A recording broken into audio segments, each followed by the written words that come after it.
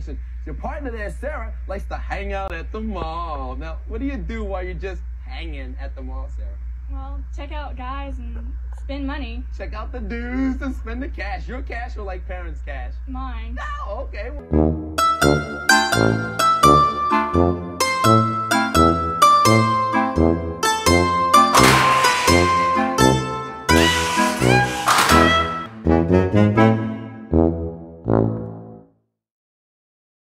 We now return you to your regularly scheduled program, already in progress. Let's go back to my timeline here for a second because I want to talk to you guys about this time. So, again, this is February the 23rd through the 24th.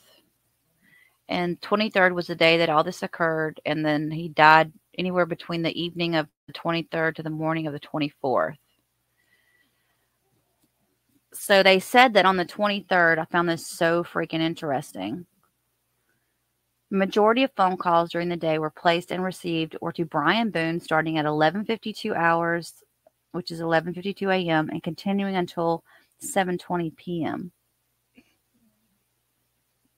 Why does she call him just nonstop? I, you know, I don't know. Is she calling Lucas? Is she calling her son? I just that's just mm. I don't know. It seems like a lot of freaking phone calls. I think she's talking to Brian a lot. So we've got timestamps. We've got solid timestamps with those receipts. Why Sarah left out that there was two trips to the Publix, I have no idea.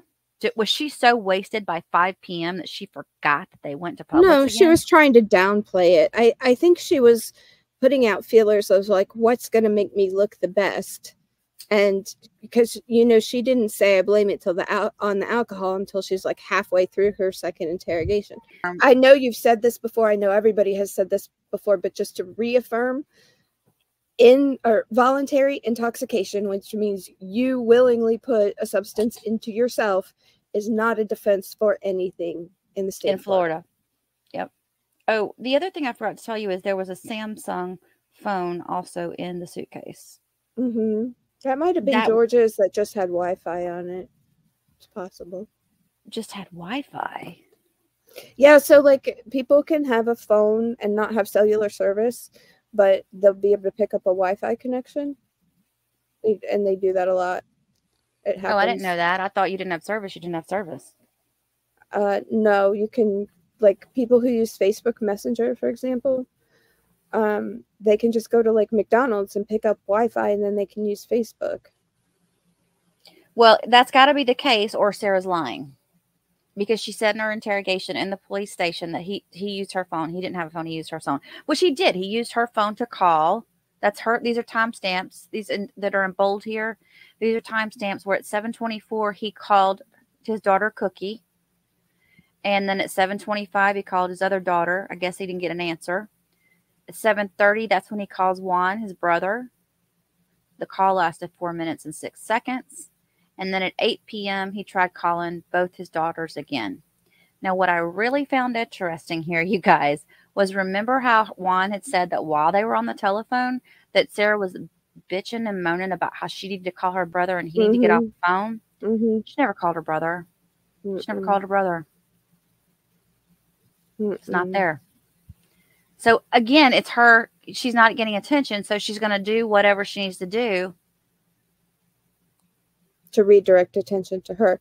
Now, Exactly. what about this 11:46 p.m. Sarah called Brian? Whose phone was that deleted off of? This would probably be the perfect opportunity to remind you guys that if you are looking for something on this case, if you go to my channel homepage, Kerryctures Productions, and you scroll down, is Sarah Boone case. There are one, two, three, four, five playlists here, all on Sarah Boone. The first one is everything I've ever done on Sarah Boone, right here under one playlist. The next one is all available police interviews. That includes Sarah and all the witnesses that they interviewed.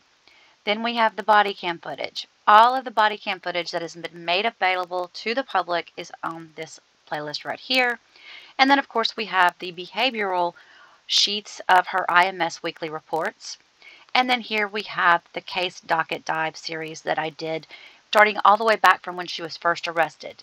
If by chance you are just coming in and you want to get caught up on this case, this right here is going to serve you well. Now, back to your regularly scheduled program. I have a couple follow up questions that I wanted to ask Brian Boone.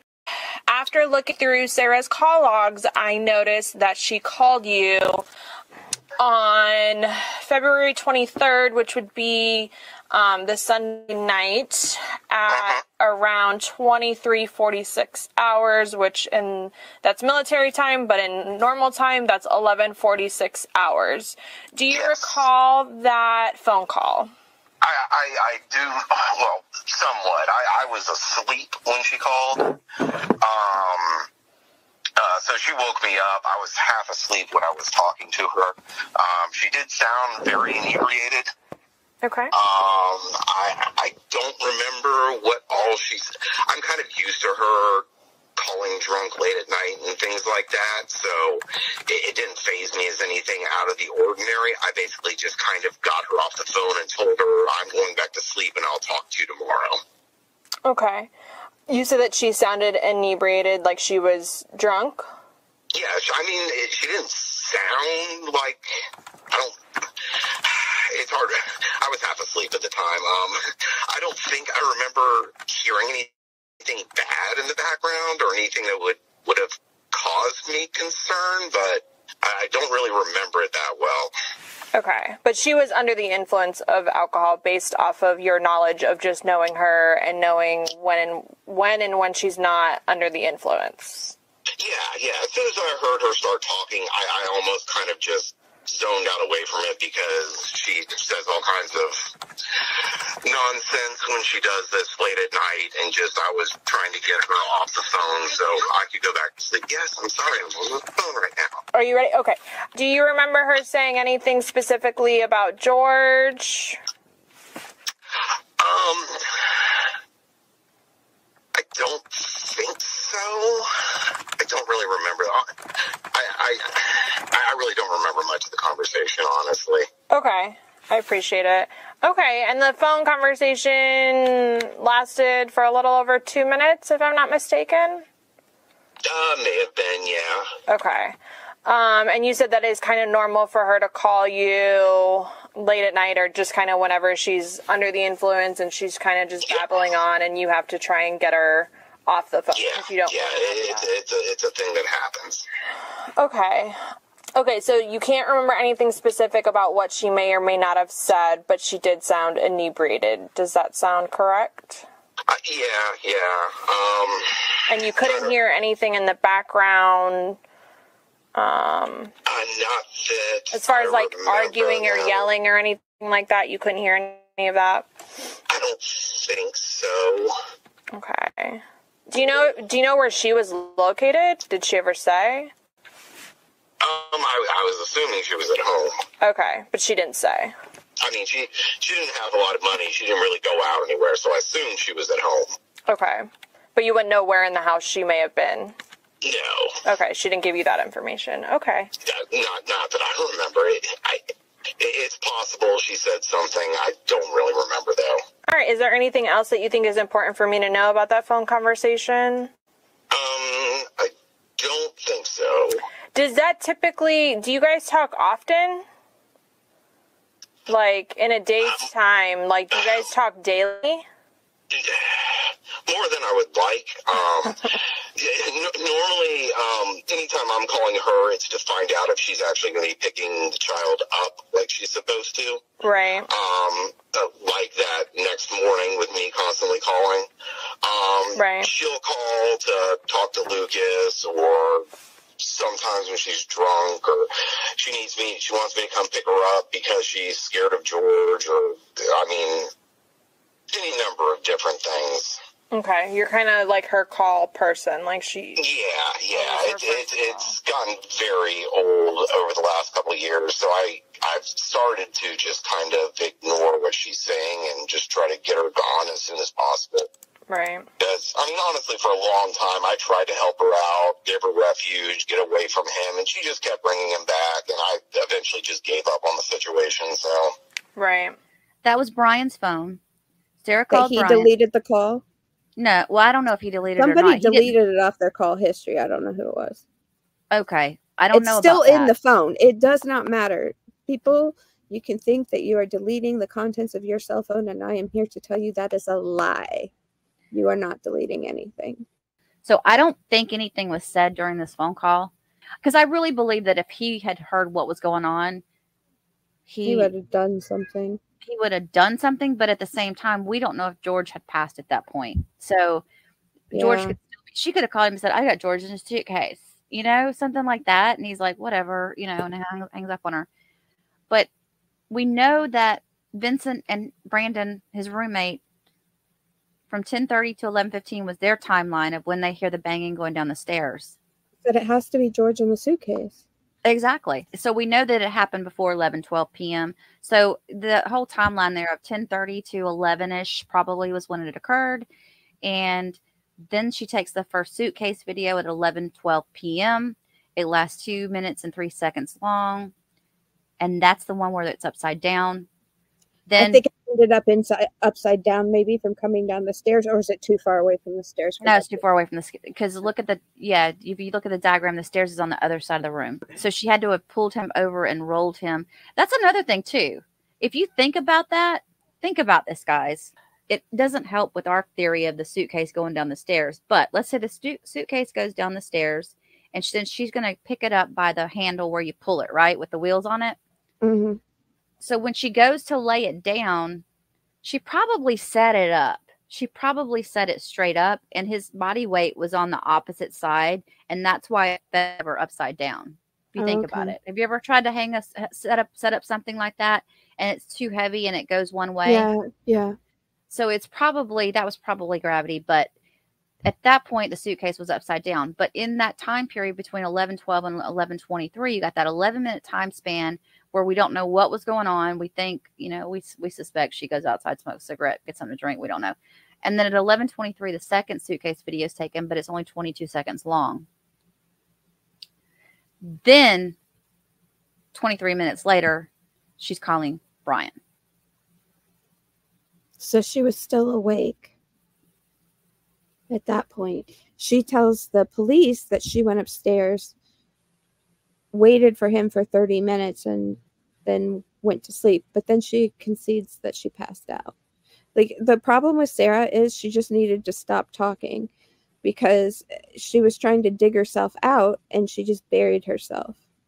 Yeah, it's it. None of it. it- her story is collapsing. It's collapsing.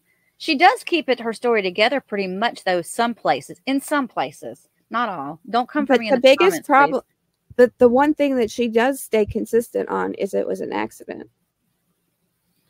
So she doesn't ever indicate that she was uh, in fear for her life. No, he never she never to once. kill her. Was she in imminent danger? The only time that she mentioned him hurting her was when they said he had all these scratches. When they ta- started talking about the ME report, and she's like, "Well, he hits me all the time," or he, you know, I have this and I have that mark on me. That's the only time she brought it up. It was like, "Oh, you got, oh, you got that. Well, I got this." She Could wasn't going in with any fighting kind of back. No, she I mean, wasn't. They, you know, they did. Somebody did say that they, they did fight with each other, but you And know, I'm sure George did. wasn't. Yeah, I'm sure George wasn't a saint, but I don't believe he he deserved t- to die.